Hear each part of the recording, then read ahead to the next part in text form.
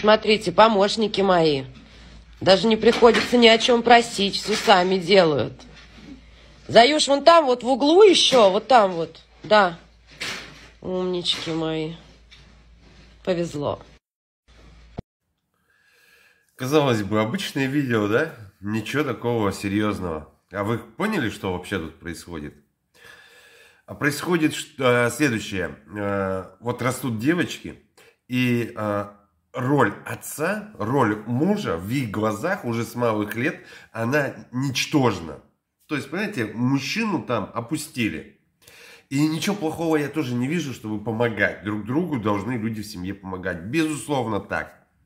Но это, в этой семье у этой женщины целый батальон помощниц. В этом цветнике мужчина вообще должен жить и кайфовать.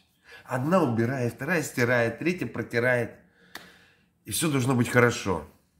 Казалось бы. Но нет, женщине нужно взять ствол, нужно снять это видео, показать, какая она, э, значит, там командирша, да. И, конечно же, роль отца максимально снизить в глазах подрастающего поколения девочек.